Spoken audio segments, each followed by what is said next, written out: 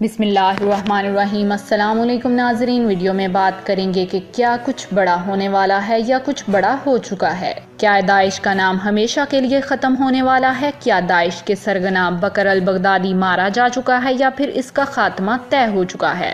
داعش کے سرگنا بکر البغدادی آج کل ڈونلڈ ٹرمپ کے نشانے پر ہیں۔ دراصل امریکن صدر ڈونلڈ ٹرمپ نے کچھ ہی دیر پہلے ٹویٹ کیا ہے۔ ڈونلڈ ٹرمپ کا ٹویٹ یہ تھا کہ something very big has just happened یعنی کہ ابھی ابھی کچھ بہت بڑا واقعہ ہو چکا ہے۔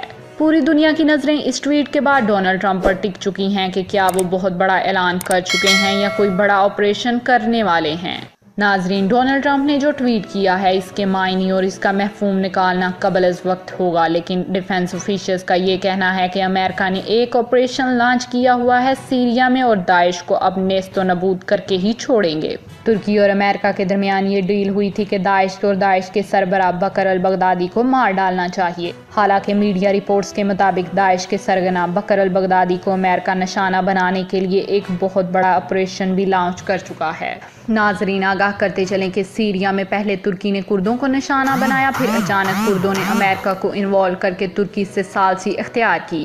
اس کے بعد ترکی، کرد اور امریکہ نے سیریا میں ایک آپریشن لانچ کیا۔ اس کا مطلب ہے کہ داعش اب ہمیشہ ہمیشہ کے لیے ختم ہونے والی ہے۔ بہت سے سینئر ایکسپرٹس کا کہنا ہے کہ بکر البغدادی مارا گیا ہوگا اور بہت سے لوگوں کا یہ بھی ماننا ہے کہ بکر البغدادی پہلے ہی مارا جا چکا ہے۔ ابھی تک امریکن صدر ڈونلڈ ٹرمپ نے کسی قسم کی کوئی کلیئر سٹیٹمنٹ نہیں دی اس حوالے سے۔ ان کا یہی ٹویٹ آیا ہے کہ بہت بڑا واقعہ پیش ہو چکا ہے۔ ناظرین، کیا امریکن اور ترک فوج آپس میں لڑی ہے یا کردوں کو لے کر امریکہ اور ترکی کے درمیان کشیدگی بھی چل رہی ہے؟ لیکن امریکہ نے طیب اردگان کے پاؤں پکڑ کر سالسی کرنے کی درخواست کی، جو کہ طیب اردگان صاحب مان بھی گئے۔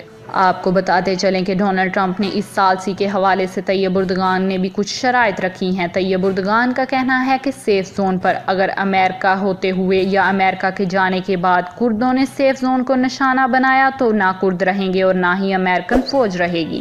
دراصل ترکی سیریا کے بارڈر کے ساتھ ایک سیف زون بنانا چاہتا ہے اور ترکی چاہتا ہے کہ اس سیف زون میں سب شامی پناہ گزیر رہیں اور ان کی حفاظت ترکی کی فوج کرے۔ اگر اس سیف زون کو امریکہ یا کردوں نے نشانہ بنانے کی کوشش کی تو ان کا تماشا پھر پوری دنیا دیکھے گی۔